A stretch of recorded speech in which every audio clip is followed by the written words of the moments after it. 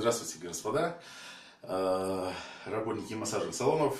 Еще один вам хочу подсказать такой лайфхак, какой приборчик можно использовать для работы э, вас как э, ну, с мануальным воздействием на позвоночник человека.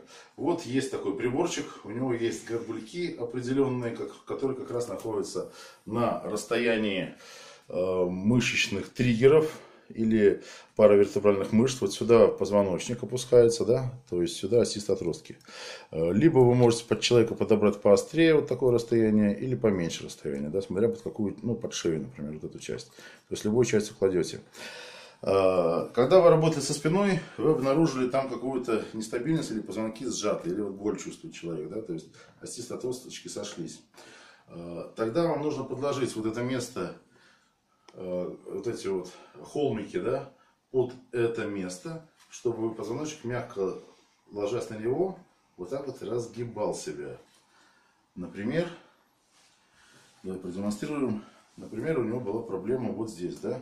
Значит, под это место, ложись, тихонечко, мягко. Вот под это место, под пару вертебральной мышцы, видите, мы подставляем. Вот, ложись так, чтобы было удобно, комфортно. Вот. Он пока лежит, у него сам организм растягивается, расслабляется, а вы в этот момент можете делать ему массаж с какой-нибудь другой части тела. Например, со стороны головы его массировать или, или тянуть дополнительную тракцию ему делать, да, вокруг э, этой области будет еще больше растяжения, да. Либо работаете с ногами, ну, можно там под поясницу положить, да, и, например, давай, знаешь, как, давай под поясницу сразу и положим. Так, мягко приподнимись. Только смотрите, на эти все приборы нельзя плюхаться. Надо мягко на него укладываться. Вот, давай вот так еще раз. Мягко, волнообразно, так поддерживайся руками. Ложись на этот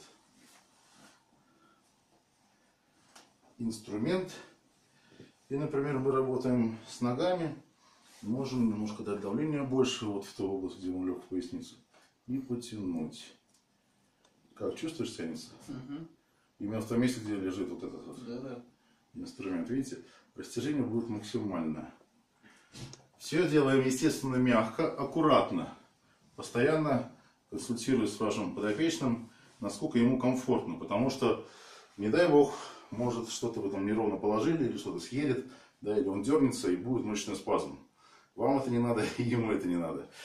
Так что, пожалуйста, используйте такие приборы, но аккуратно. До новых встреч! В следующем видеоролике еще кое-что покажу. Ставьте лайки.